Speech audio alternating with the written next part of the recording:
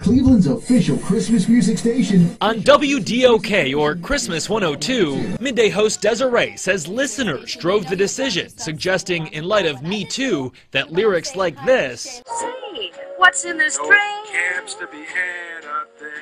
are no longer appropriate or even predatory.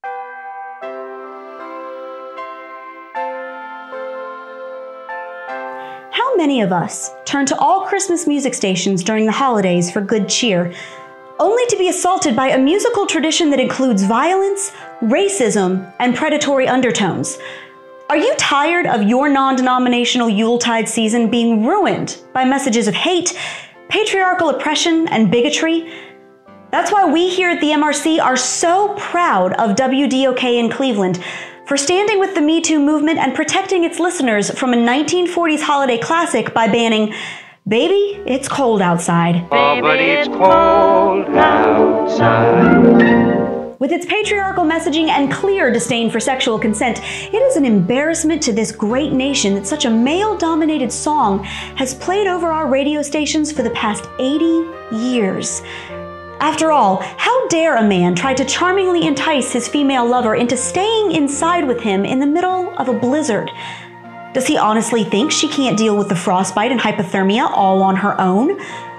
So, for saying no to this song and for protecting the ears of all who would be so horribly offended by it, we here at MRC are sending WDOK this trophy profiling the courage that they have shown in banning this Christmas time classic from their airwaves and defending helpless women like me from its harmful patriarchal lyrics. And we believe this is just the beginning. This year, we encourage you to take a stand against the racism right there in the title of White Christmas. Of a white Christmas. The violence against elders perpetuated in Grandma Got Run Over by a Reindeer, the exploitation and bullying echoed in Rudolph the Red-Nosed Reindeer, and the seductive siren call of commercialism, big business, and the free market that hits high notes and banknotes in Santa Baby. And hurry down the chimney tonight. And that's to say nothing of the racist origins of Jingle Bells,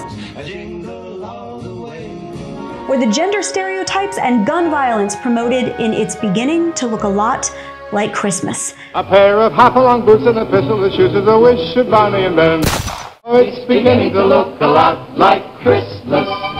In fact, we believe that the fall of Baby It's Cold Outside will be a benchmark in eradicating the offensive holiday classics that hurt sensitive leftists everywhere. And we thank you, WDOK, for having the courage to get this effort rolling.